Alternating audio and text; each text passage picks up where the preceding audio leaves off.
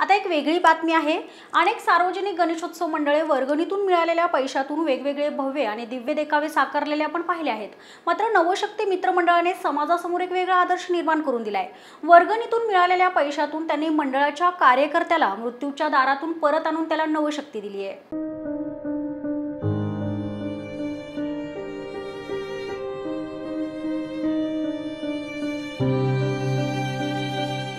हा आहे बावीस वर्षीय सतीश जोरी. बालपणापासूनच नवी पेठेतील नवशक्ती मंडळाचा कार्यकर्ता.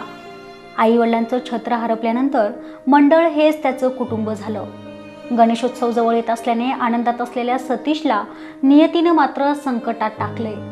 सातत्याने फिट येत असल्याने तपासणी केली असता त्याच्या मेंदूमध्ये रक्ताच्या गाठी झाल्याचं समोर आलंय. त्याच्यावर आलेले विघ्न दूर करण्यासाठी गणराय नवी पेठेतील नवशक्ती मित्रमंडळाच्या रूपाने समोर आले असं म्हणायला लागेल.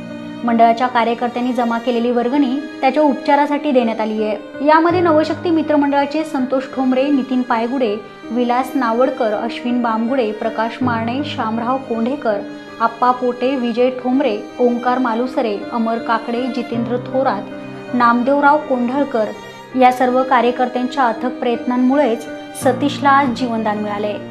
देखाव्यांवर हजारो रुपये खर्च करणारे गणेश मंडळ आपण पाहिली आहेत. मात्र नवशक्ती मित्रमंडळाने एक वेगळाच आदर्श घालून दिलाय. त्यांच्याच मंडळाच्या कार्यकर्त्याला मोठा आजार झाल्यानंतर त्यावर उपचार करण्यासाठी मंडळाने वर्गणीतून जे पैसे आले होते ते सर्व पैसे आपल्या कार्यकर्त्यासाठी खर्च केलेले आहेत त्याच्या उपचारासाठी. आता या मंडळाचे अध्यक्ष संतोष आपल्यासोबत आहेत.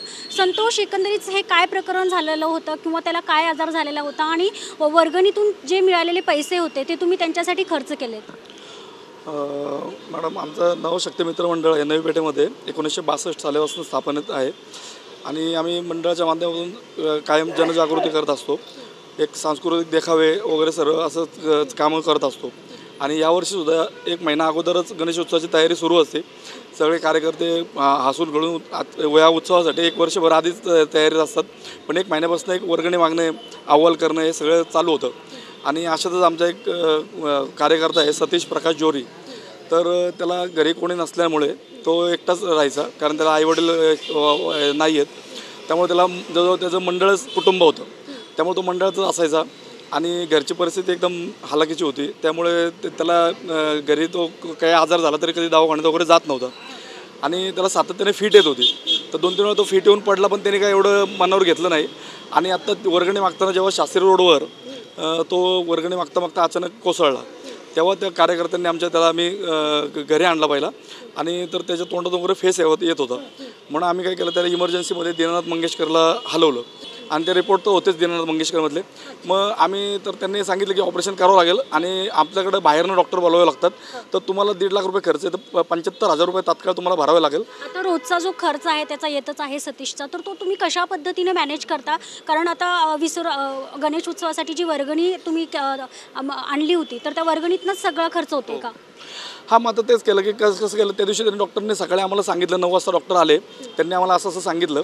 मग आम्ही तिथनं दोन चार जण कार्यकर्ते असल्यामुळे आम्ही तिथनं आलो. त्यांनी आम्हाला सांगितलं एक तासाभरात तुम्ही डिसिजन द्या. मग आम्ही इथं आलो. इथं आल्यानंतर आमच्या मंडळाचे सर्व कार्य कार्यकर्ते जमलो. आणि म्हटलं आता काय करायचं ते ठरवा. तर सगळेजण आम्ही मोठे ज्येष्ठ कार्यकर्ते वगैरे किंवा स सगळे आत्ता जे काय सक्रिय कार्यकर्ते ते सगळेजण आम्ही थांबलो. तर आमच्या ते कार्यकर्त्यांमध्ये नितीन पायगुडे असतील आपले विलास नावडकर असतील अश्विन मांगुडे असतील विक्रम मांगुडे असतील आकाश मारणे असतील या असे आम्ही सर्वजण बसलो आणि आम्ही ठरवलं की आता याला काय करायचं म्हणून. तर सगळेजणांनी मग एकमते निर्णय घेतला की आता त्याचं प्राण वाचवणं गरजेचं आहे. तर आपण यावेळी उत्सव जरा सा साध्यापणात साजरा करू आणि आपल्याकडे जी वर्गणी जमा आहे ते आत्ता आपण इमर्जन्सी त्याला भरून टाकू. तुम्ही मागच्या वर्षी वगैरे अनेक देखावे वगैरे सादर केलेले आहेत. मी स्वतः पाहिलेले आहेत. मग या यावर्षी तुम्ही कुठल्या पद्धतीचा देखावा असेल किंवा डी जे वगैरे असेल असं किंवा विसर्जन मिरवणूक जी असेल ती तुमची कुठल्याही पद्धतीने होणार नाही का? नाही आता आम्ही पहिली मिरवणूक तर कॅन्सलच केली कारण त्या पहिल्या मिरवणुकीसाठी पण आम्ही ॲडव्हान्स वगैरे दिला होता प पथक असतं आपलं त्या पथकाला. पण इमर्जन्सी आम्हाला ते पैसे तिथं पंच्याहत्तर हजार रुपये भरले आम्ही. आणि मग नंतर त्या तात्काळ लगेच त्यांना कळवून टाकलं की आम्ही मिरवणूक काही काढणार नाही आहे तर तेवढं आम्हाला तुम्ही आम्ही जे तुम्हाला ॲडव्हान्स दिला आहे तो परत द्या कारण आम्हाला ते लागतात असं असं कामासाठी.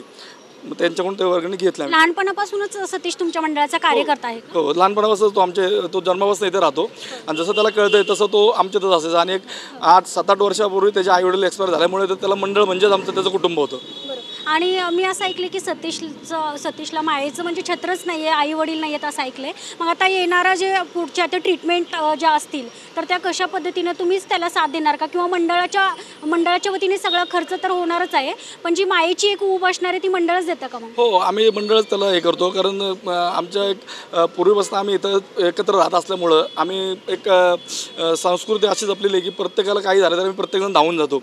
आणि याला कोणी नसल्यामुळे तर आम्ही सगळेजण त्याला मदत करतो. आणि आत्तासुद्धा रोज कार्यकर्ते जसे काम का नोकरी काम करतात त्याच्यानंतर आल्यानंतर हॉस्पिटलला जाणे बघणे तिथं काय चाललंय बघून येणे. त्यानंतर त्या मेडिकलवाल्याला पण आपण तिथं सांगितलेलं आहे की जे काही मेडिसिन लागेल ते तुम्ही दिवसभरात त्यांना देत जावा. संध्याकाळी आम्ही येऊन तुमचं काय असेल ते कलेक्ट करत जाऊ. मग दिवसभरातले वर्गणी जे मुलं मागतात ते संध्याकाळी आम्ही गेल्यानंतर ते मेडिकलवाल्याला पण वर्गणी कारण त्यांचे मेडिकलचे पैसे त्यांना कॅश भरावं लागतात. ते आम्ही तिथे जमा करून टाकतो. आता सतीशची तब्येत कशी आहे? आता सध्या शुद्धीवर आलेलं आहे. सर्वांशी बोलतो वगैरे. आणि आता त्याला आय सी यूमधनं पण उद्या बाहेर काढणार आहेत. आणि त्यांनी साधारणतः एक अजून आठ दिवस त्याला जनरल वॉर्डमध्ये ठेवण्याचा निर्णय घेतलेला आहे. आणि त्याच्यानंतर ते म्हणले की कमीत कमी त्याला तीन महिने तरी जपावं लागणार आहेत बेड बेड बेड रेस्ट द्यावे लागणार आहे. माणूस माणसाचं मन मनाची सुखदुःख सुखदुःखाच्या भावना आणि भावनांची तीव्रता जाणून घेण्यासाठी एक संवेदनशील मन असावं लागतं आणि त्या संवेदनशील मनाला एक विवेकाचा धागा असावा लागतो. हे संवेदनशील मन जपण्याचं कामच नवशक्ती मित्रमंडळाने केलेलं आहे. त्यांनी आपल्या कार्यकर्त्यासाठी मंडळाचा पूर्ण खर्च आहे त्याच्यावर खर्च केलेला आहे. कॅमेरामॅन रोहित वनखट्टेसह मी शनाया दिनमान न्यूज पुणे.